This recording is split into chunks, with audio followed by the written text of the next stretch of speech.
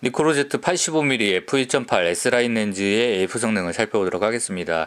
일단 해당 렌즈는 multi focus 방식을 사용하는 렌즈로서 두 개의 렌즈 초점군을 이동시키는 방식을 채택한 렌즈가 되겠습니다. 이는 화질상의 이점을 꾀하기는 방식이기도 하고 AF 성능에 대한 확보를 동시에 어, 얻을 수 있는 그런 구조가 되겠는데요.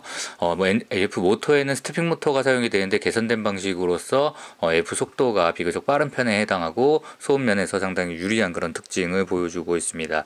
일단 실내 샘플 세트 상황 지금 보시는 부분은 약 1m 그리고 약 1.5m 뒤편이 약 3m 정도 되는 구간을 반복하는 속도로 한번 먼저 보시도록 하겠습니다.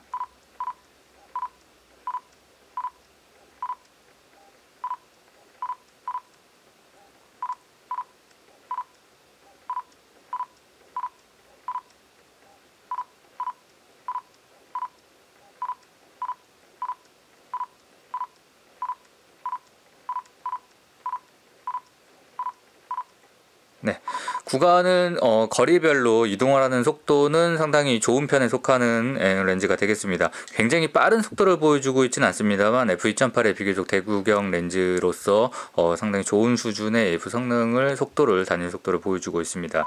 특히 wobble 현상은 지금 어떤 지점을 사용한다고 하더라도 동일 지점을 AF를 실시하는 이런 경우에서 굉장히 빠른 속도를 보여주고 있고 wobble 현상이 전혀 없는 그런 특징을 나타내고 있기 때문에 미러리스 카메라에서 어, 나타나는 어블 현상에 대해서 상당히 잘 어, 구현이 된 그런 렌즈가 되겠습니다. 또한 구동 소음에 대해서도 상당히 거의 없는 형식으로서 어, 관련한 스트레스가 거의 없는 영상 촬영 역시 마찬가지가 되겠지요.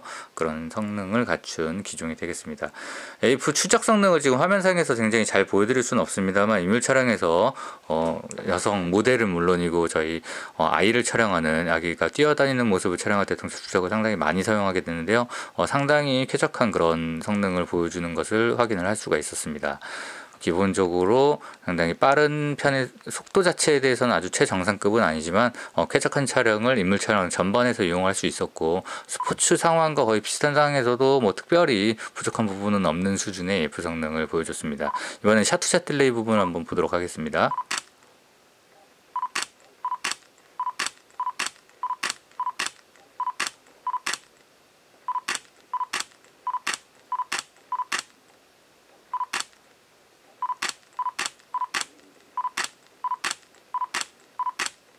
네, 비슷한 지점을 계속해서 촬영할 때는 굉장히 쾌적한 형식으로 촬영이 가능했고요. 어, 중간거리 정도에서 근거리로 다가올 때에서는 아주 약간은 느린 모습을 보여주고는 있습니다만 전체적으로 shot to shot delay에 의한 불편은 거의 느껴지지 않는 준수한 형식의 shot to shot delay를 보여줬습니다. 앞서 말씀드렸던 어, 동체 추적 상황에 대해서도 다시 한번 말씀을 드리겠습니다. 동체 추적 상황에서 상당히 추적 능력 상태, 가 비교적 그래도 상당히 어, 좋은 편에 해당을 하는데 이런 부분을 좀 기미 예민하게 따라가 주면서 차량 자체에 스트레스가 거의 없는 방식으로서 어, 인물이라든가 빠르게 이동하는 스포츠 차량이라든가 아이가 뛰어노는 모습을 보다 더 어, 확실하게 어, 일일이 측가점을 옮기는 방식이 아닌 형태로 어, 상당히 편리하게 촬영할 수가 있었고 그런 차량에서 인물 차량은 뭐 물론이고 어, 일반적인 스포츠 차량까지는 어, 85mm f1.8 S라인 렌즈가 충분히 소화할 수 있는 그런 능력을 갖춘 것으로 말씀을 드립니다.